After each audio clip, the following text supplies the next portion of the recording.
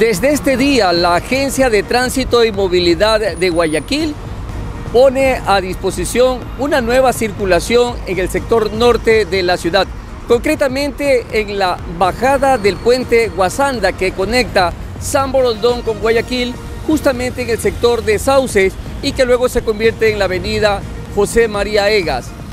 En horas pico, desde 7 a 10 de la mañana, los elementos de la Agencia de Tránsito y Movilidad ponen conos para que el tránsito tome otra dirección, por la sencilla razón de que hay muchos establecimientos educativos y en ese horario se forma un congestionamiento o embotellamiento de tránsito en este sector.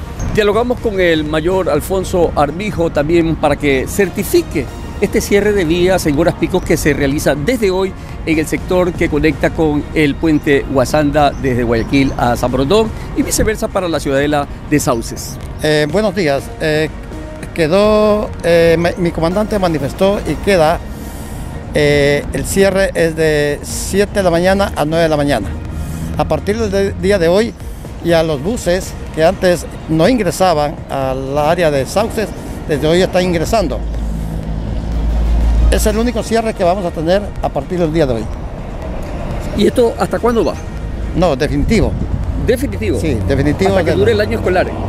Digamos que eh, según la planificación de nuestro comandante, eh, por lo menos todo el año vamos a mantener ese horario. Y a partir de este mediodía de jueves 12 de mayo del 2022, la avenida Rodolfo Vaquerizo Nazur, que se conecta con la José María Egas hasta el sector norte de la Alborada, queda abierta al tránsito vehicular luego de varios meses también de mantenimiento y nuevas estructuras que se han puesto aquí en este sector. Hoy queda apertura de la reconstrucción de, las dos fases de la avenida Vaquerizo Sur.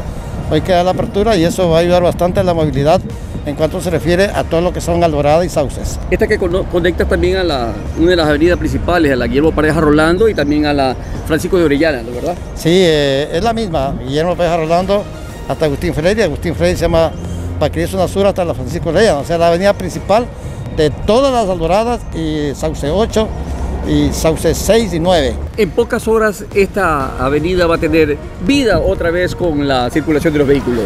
Eso es magnífico porque justamente ya ayuda a circular los tránsitos y uno también se agilita todo. Entonces, cuando, como uno pasa por aquí siempre, tiene que moverse por otro lado, si no es el carro por ahí, caminar. Caminar tanto para, y uno se atrasa en las transacciones. Aquí autobanco no se puede entrar, se demora. Entonces es, muy importante que ya es hora que lo inauguren. Y de esta forma las autoridades tanto del municipio de Guayaquil como de la Agencia de Tránsito y Movilidad están trabajando para beneficio de todos los guayaquileños y no guayaquileños. Hoy prácticamente entregan una nueva avenida totalmente reconformada con cemento Portland, jardinería, también espacios de veredas y bordillos nuevos construidos para que la atención tanto para peatones y la circulación vehicular sea de la mejor manera. Para Huancavilca 830 AM informó Luis Viera de la Rosa. Huancavilca, Radio Noticias, 830 AM Radio.